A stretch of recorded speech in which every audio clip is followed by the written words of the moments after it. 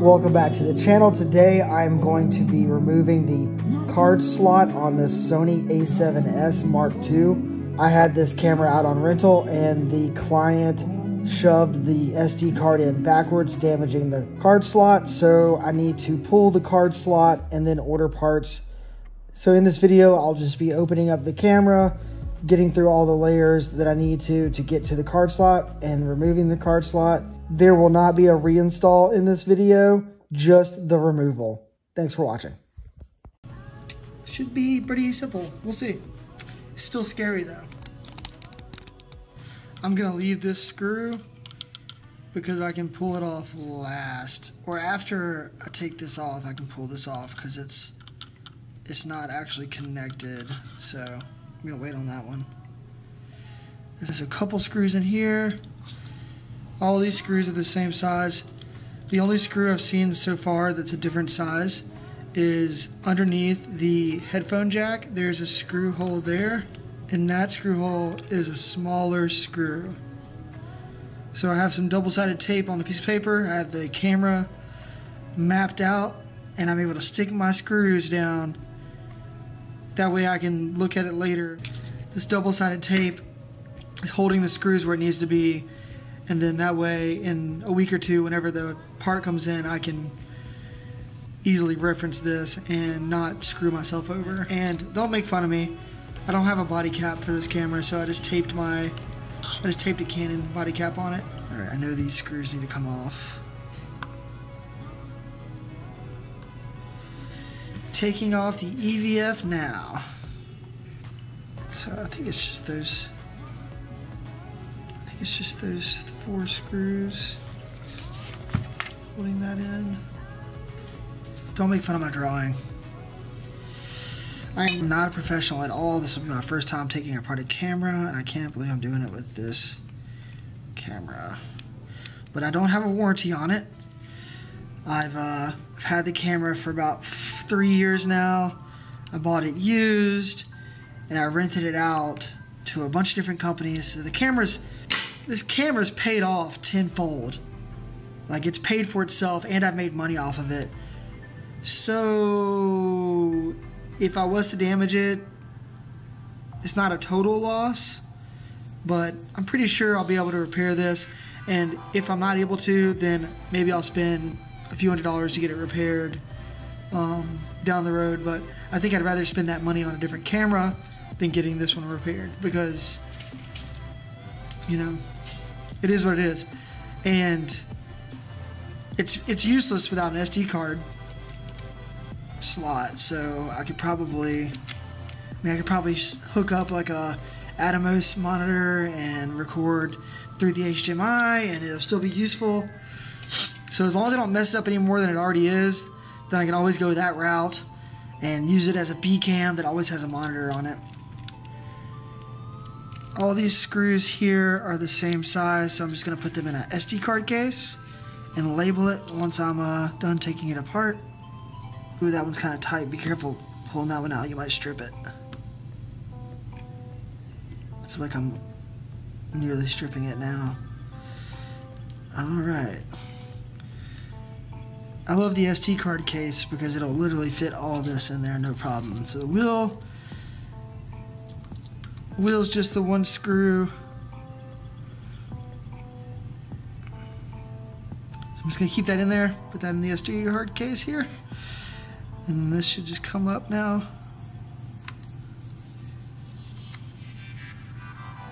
It's got a little adhesive behind it.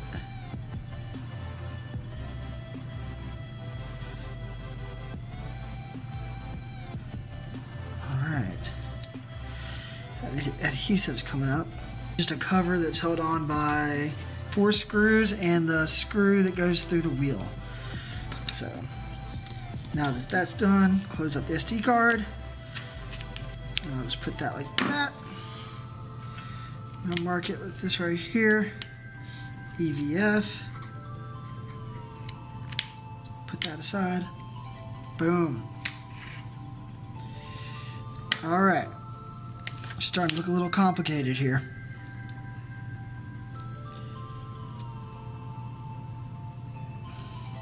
Really easy. I'm, I'm interested to see if this camera's been taken apart before because I can't tell just by looking at the screws right now. Got one.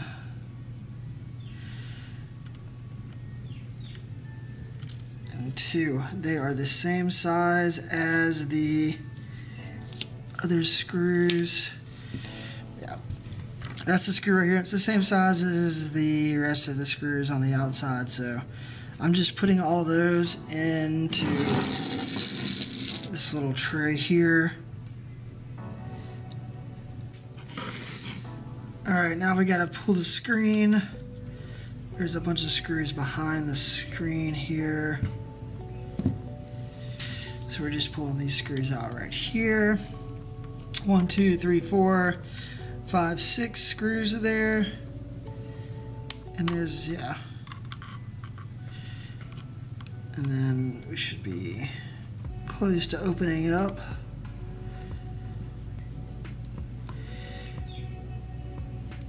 Okay, yeah. So, I don't know if that, that was uh, visible, but if you open the screen up to this side of the screen, you take a screwdriver, you push up right here, there's these two tabs. You just push up, it'll release the the backing there.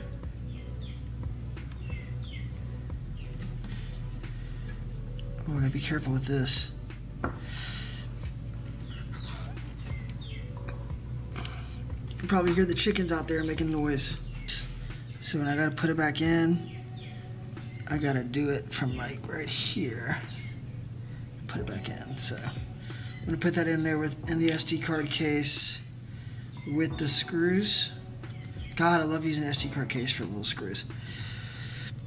Okay, well this is where it starts to get a little scary because that ribbon on the back of the camera there, if I rip that, then I have to order another ribbon and then I have to replace that. I'm pretty sure those ribbons are like a hundred, hundred bucks.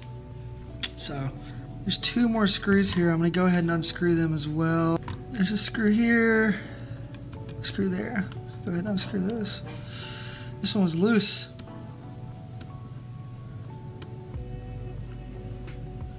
Got it. And it is a different size than all the screws. So I need to make a diagram to put these screws in because these are different. Two, one, and two. And then I'm gonna put my screws right there on that double side tape. I feel like this is a, a good workflow. Got one screw here. That's two. Boom. Stick it to the double-sided tape and we are clear. Could be using little trays for these and just label them that way. But I feel like with my ADD, this might be the best move. It's just to put these on here with tape. And then I'll have uh, a great reference here. Or display. Okay, so I got a toothpick here, and I'm going to try and show you this on these cameras, but there's a ribbon right here, and if I feel like just kind of peel it off, kind of like I would peel off a sticker. There it goes. Look at that. All right, that does look a little different than the A7R and that it has those little prongs on the side there. But this hopefully will make it easier for me to do if I clamp this down now. Oh, I can do a real good deep cleaning too whenever I'm done. All right, so I'm just gonna sit this flat down like this. And then hopefully I'm able to just pull the camera apart and lay it down. We got this long ribbon here. Hopefully I can slide all the layers out over the screen ribbon without having to, to take any of that apart. It probably wouldn't be that hard, but I'm gonna do my best not to take anything apart that I don't have to to do this project. I need to pull that sticker off anyways. Oh, and there's one hiding under my label. Put that right there. And we're gonna pull this, probably the last screw, and put it with the rest of the body screws. close to 30 screws, probably 27 or 28 screws. Go on, try to get this stuff out. I'm gonna close these up. I don't think these need to be open to do this. So these are closed. Of gaffer's tape. I'm gonna use that just to tape the screen down. Make it a little easier to pull it out, hopefully, without the screen. It around. Alright, we're starting to come loose there. Oh yeah, it's starting to slide out real nice. Just kind of giving it a little love on each side.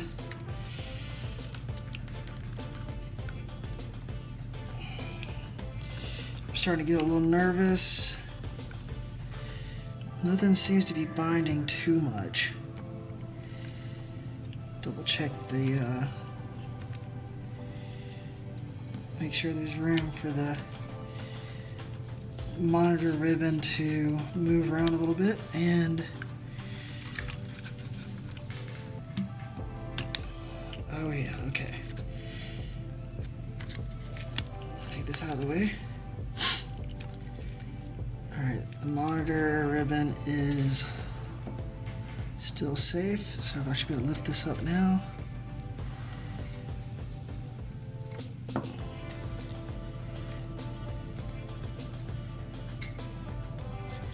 slide that through. Ooh, it's scary. It's so scary. Just gotta sit it down.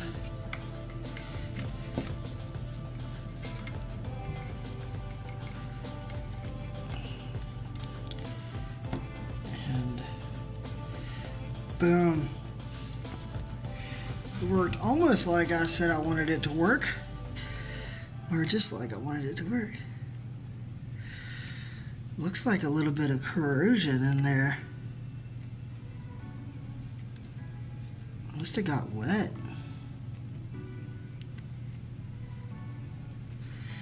That's, yeah, that's not what you want to see. You don't want to see all that corrosion back there. Okay, so I'm taking a box of screws and sliding it underneath this so it's flat and there's no tension on the ribbon here. You see there's like a little bit of movement there. This is it. This is the shutter control. This is the record button. This is all the buttons right here. And it's scary because this whole thing needs to move out of the way to get to the SD card reader. So let's start pulling screws. Let's pull this screw out. Okay.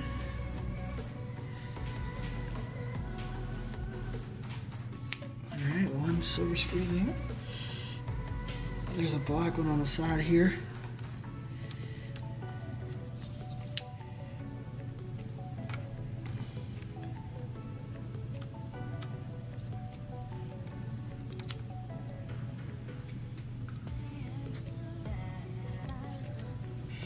I'm gonna have to get another light in here soon. This is getting pretty dark. See, there's another screw hidden down here.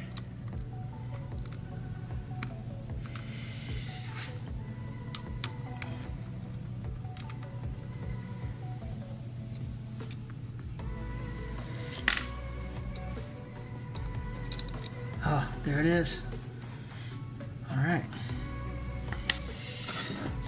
There's a little tape.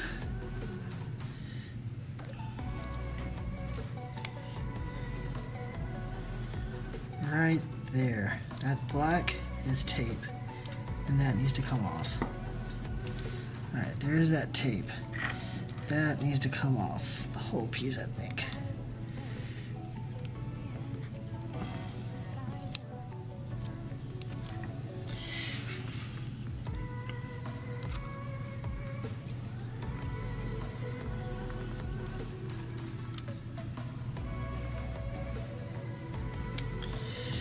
Sure what that was for.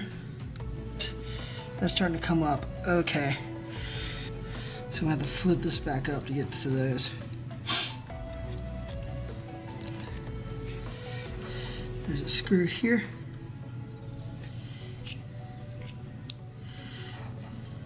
That we skipped earlier. can now come off and then this bottom plate is going to completely come off too. I'm guessing that way you can replace the quarter 20 thread if you need to.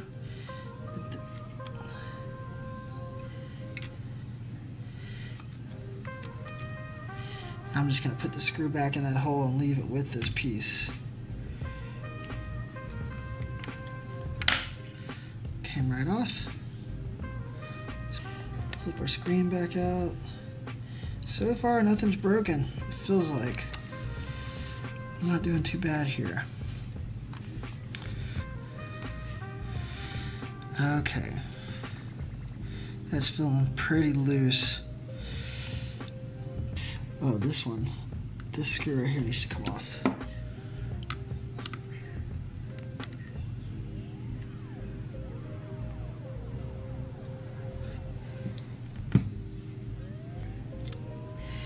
Oh, and that one is definitely longer than the others.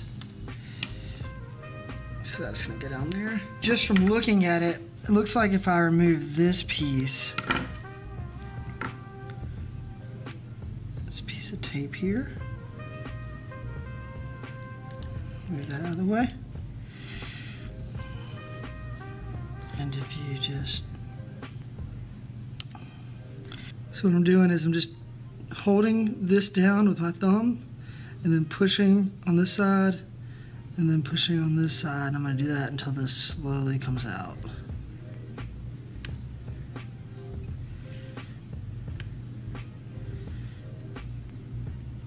It's probably a little more durable than I'm making it out to be, but safety first. And I've seen people do this with a screwdriver before. I'm just gonna do it with a toothpick. All right, now that that's out, this should flap up, and then this silver spot, silver piece should be able to come back like that.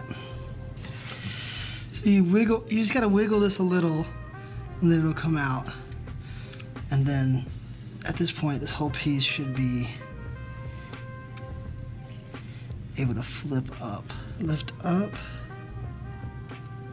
and then boom, push that out of the way. Now that's probably fine like that, but I like tape. So I'm gonna take a piece of, normally I would use gaff tape, but I'm gonna use paper tape this time. I'm just gonna take a little strip of tape, and I'm gonna grab it on the top, like that.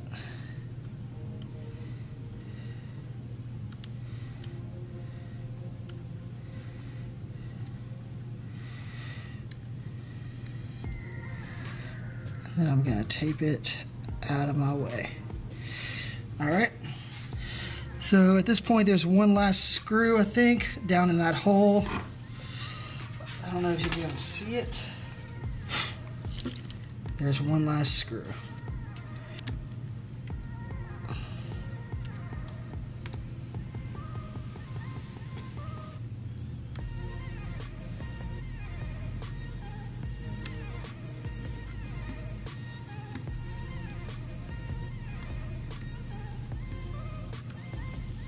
And it is longer. So I need to put it on the diagram. All right, now that we did that, I think all we have to do now is lift all this up. I'm hoping that this will just fold back.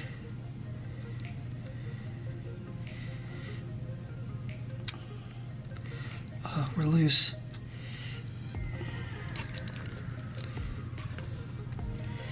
Yeah, the little plastic piece right here was in the way of the metal frame, so now it should just pop right out. Here we go. I'm just gonna fold this back. Sit it right clean like that. Look at that. And this right here, my SD card reader there's a little bracket right here that just slides in. and pull that up. This screw needs to come out. Take that screw out. And this needs to be, it's so small. Definitely need to put that in an SD case. So, to remove this ribbon, this piece right here locks down and pops up. Try to lock it back down for you, but just take your toothpick or whatever you're using and just flip that up. That'll be flat down. Like that, you just flip that up and then this should just come right out. And then boom. And that's it. Buy you a new one of these or uh, make sure you buy the, the card slot and the board. If you don't tear your ribbon up, then you can reuse the ribbon. But yeah, now all you have to do is just uh, do that in reverse and uh, Bob's your uncle. Not too bad, probably took about 20 minutes to really do it. You knew what you're doing, if I, it took me about an hour to do it, but if I was to have to do it again, it would go much faster. All right. All right, guys. Well, that's it. Um, I hope you liked this video. I hope that this helped you out. Uh, like I said, I wasn't able to find a video like this online, so I just went ahead and made it. And uh, yeah, like and subscribe if you like this video, and uh, I'll see you in the next one. Thanks.